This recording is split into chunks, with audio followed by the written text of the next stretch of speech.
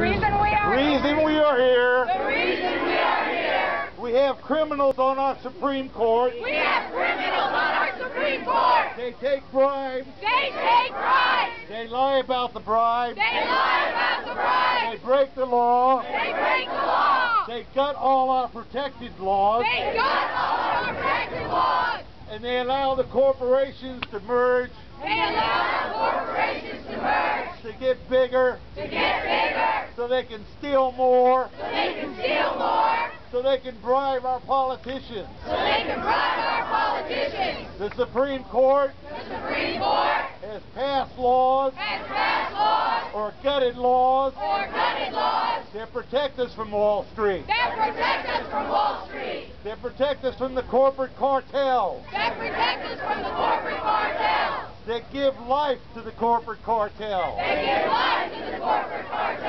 to say they're humans, to say they're human, so they can bribe more politicians. so they can bribe more politicians. We need to impeach the, We need to impeach the Supreme Court. the Supreme